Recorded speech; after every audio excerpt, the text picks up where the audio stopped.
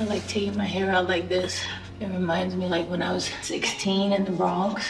Running up and down the block. She's from the block. Enough about the block. Taylor Swift is a no. Jason Momoa Momoa's not available. Um, Jennifer Coolidge not available. Lady Gaga said no? Orpah Winfrey said no? Who's gonna be Khloe Kardashian? She's making a cameo? No. It was supposed to be. I didn't know that. I just, uh, you're telling me now for the first time. We need him for like one or two days. It's a wedding, babe. He's in a wedding. It's not. It's a wedding. He's not gonna give up his wedding. Who's wedding?